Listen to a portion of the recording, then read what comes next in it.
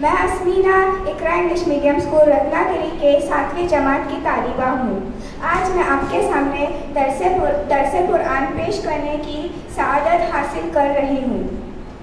मोहतरम हजरात, आज के हमारे दर्स का उन्वान है सख्त दिल।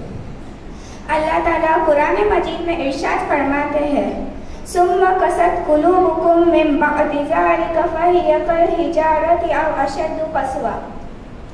अल्लाह ताला की तमाम मखलूक़ात हमारे रब को जानती है और इसकी तस्वीर बयां करती है और इससे डरती है। मगर बनी इसराइल का ये हाल है कि अल्लाह ताला की इतने सारे निशानियाँ देखने के बावजूद भी बनी इसराइल ने कोई नसीहत हासिल नहीं की।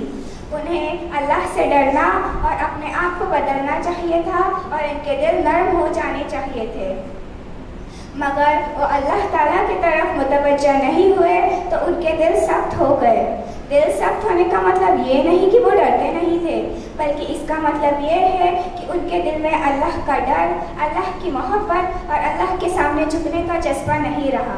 उनके दिल अल्लाह के याद से खाली थे अल्लाह ने इस आयत में तीन किस्म के पत्थरों का ज़िक्र किया है। एक वो पत्थर जिससे बारह चश्मे निकलते हैं। ये हमें हज़रत मूसा सलाम के वाक़ से पता चलता है। जब बनी इसराइल सहरा में थे और वहाँ पानी का नामो निशान नहीं था तो हज़रत मूसा ने अल्लाह से दुआ की। तो अल्लाह ताला ने हुक्म दिया कि अपने आसे को पत्थर पर मारो। तो हज़रत मूसा ने अपने आसे को पत्थर पर मारा, जिससे जिससे बारह चश्मे फूट पड़े। हज़रत याकूब सलाम का लकब इसराइल और उनके बारह बेटों, बारह बेटे थे। उन बारह बेटों की औलाद एक मुस्तकिल कबीला बन चुकी थी। हर एक कबीले के लिए अलग अलग चश्मे थे क्योंकि आपस में झगड़ा वगैरह न हो। बास पत्थर, जिनमें से थोड़ी मिकदार में पानी निकलता है और वो बास पत्थर जो अल्लाह के सामने भी गिर पड़ते हैं। मगर इनके दिल ऐसे सख्त है कि वो ज़रा भी डरते नहीं हैं किसी ज़माने में यह बात कुछ लोगों के समझ में नहीं आती थी कि पत्थर जैसे बेजान चीज़ में खौफ का क्या खौफ का क्या तस्वुर हो सकता है। मगर कुरान करीम ने यह बात कई जगहों पर वजह फरमाई है कि जिन चीज़ों को हम बेजान या बेशूर समझते हैं, उनमें भी कुछ ना कुछ शूर मौजूद होता है।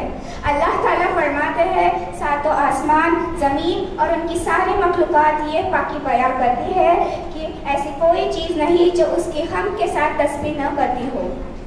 लिहाजा लिहाजा अल्लाह ताला की सारी मखलूक़ात अल्लाह ताला को जानती है और इसकी तस्वीर बयां करती है और उससे डरती है।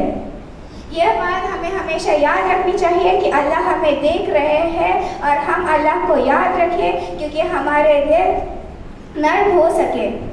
अल्लाह ताला से यही दुआ है कि अल्लाह हमें उसकी तस्वीर बयां करने की और तोबा व तोफ़ी व तोबा व इस्तफ़ार करने की तोफ़ी अता फरमाए। व आखिर अलहमदिल्ला रबालमीन